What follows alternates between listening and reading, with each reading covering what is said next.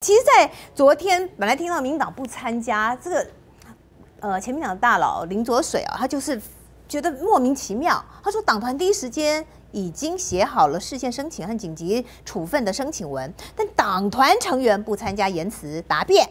柯总遭这个决定，他说是轮到民进党没收自己据理力争、展现宪政论述的机会吗？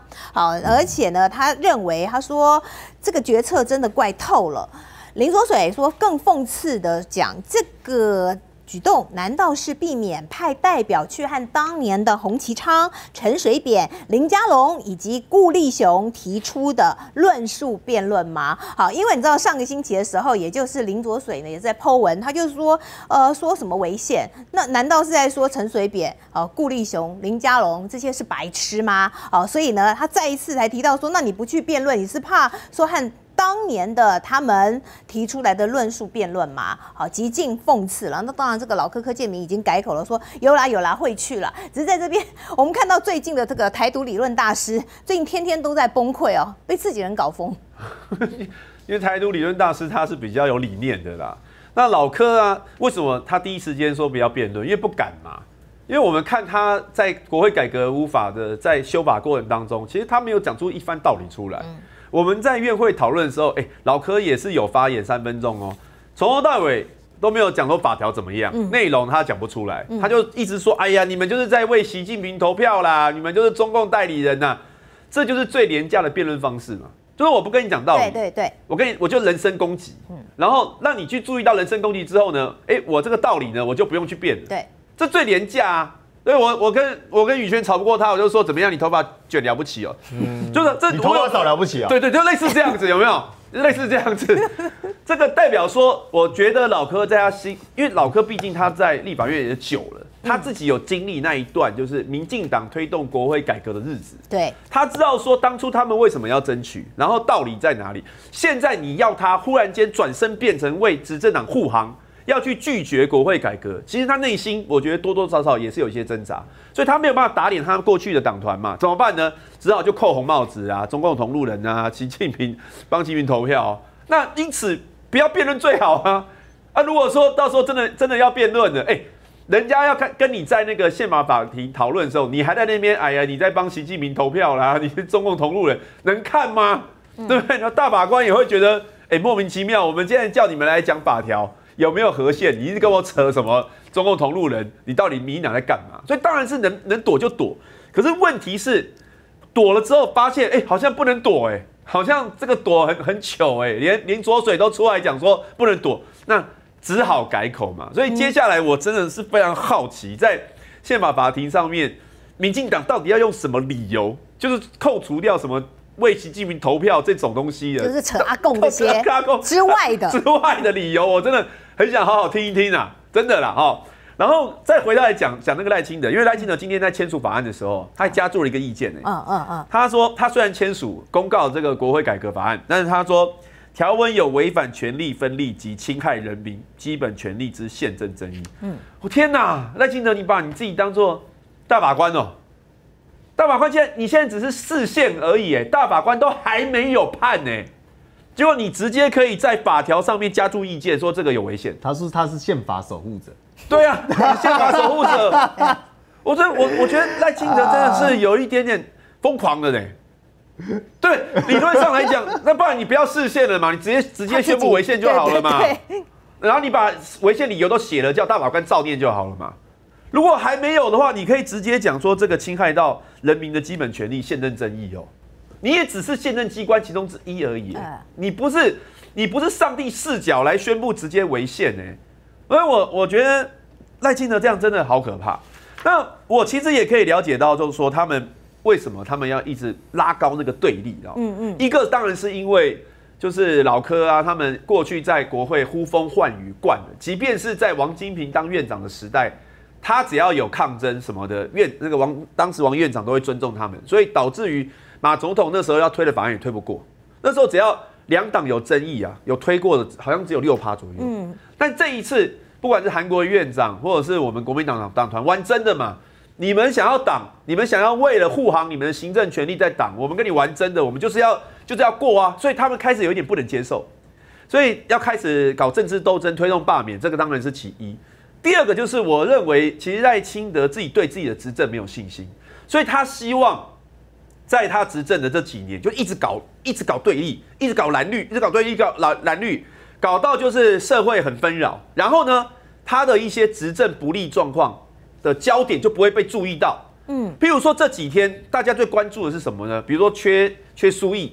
譬如说，像最近非常多人跟我澄清哦，我我有一个同学，他爸爸在一家医院，他也是发严重发现说，因为没有护理师的照顾，所以他爸爸他感觉啦，就是说有一些是因为没有照顾，是因为人人力不足所导致的疏忽照顾。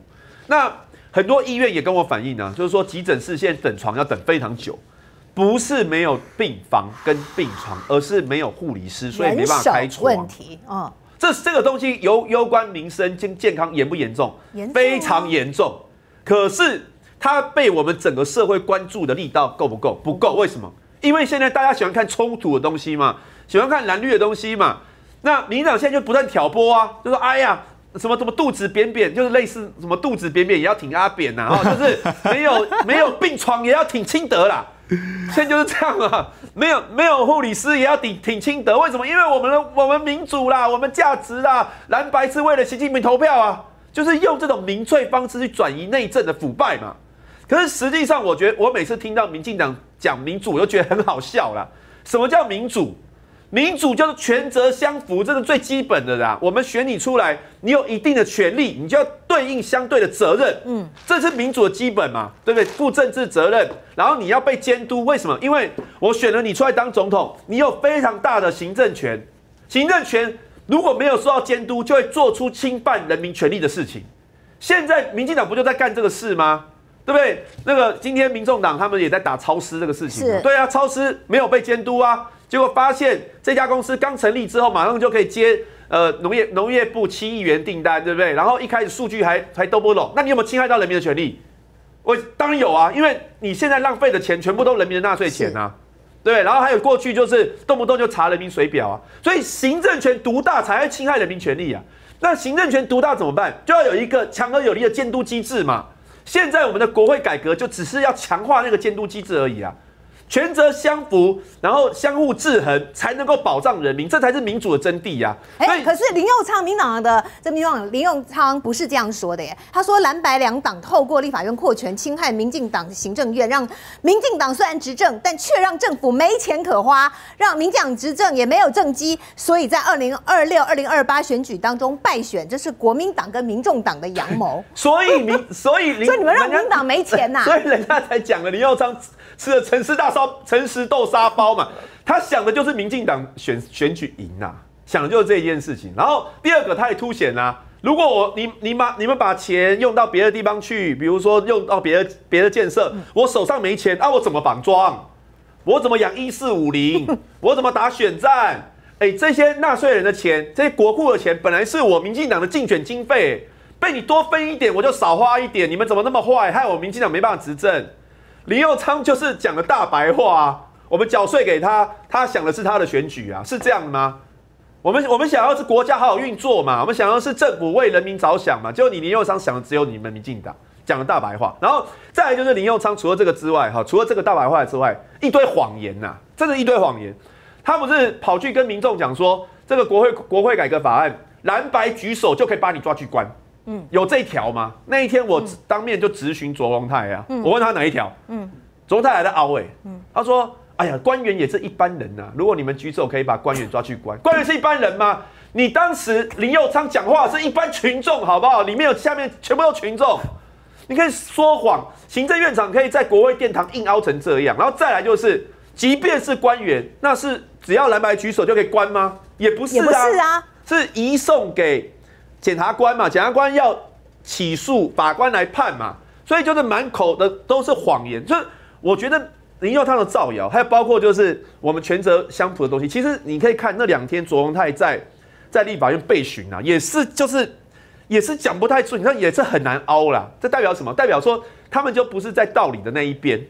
所以呢，我我这个也可以回过来。回过头来讲这个千惠问的问题，就是说，那为什么老柯一开始不愿变？因为真的很难变啊！他们都知道，他们讲的是歪理啊，很难变，很容易就被人家戳破了啦。到时候真的真的很期待看看老柯到底要怎么凹这个事情。你也和我一样爱吃米食、面食、甜点以及手摇饮吗？我特别了解你的烦恼，所以现在要跟你分享一个可以放心享受美食的超级好物，就是这个每日完胜白肾豆萃取物口含定。餐前三十分钟一次吃两颗，吃大餐 so easy。旺旺出品的这一款每日完胜白肾豆萃取物口含定是柠檬红茶风味的，像这种。夹链包设计哦，特别严选了北美优质白肾豆，获得了美国 FDA 的认证以及 GIS 健康许可。这个成分呢，其实是很天然，而且品质安心有保障。所以现在就赶快上快点购，为自己的健康、自信与美丽下单。很重要的是，记得输入推荐代码，因为会有额外折扣。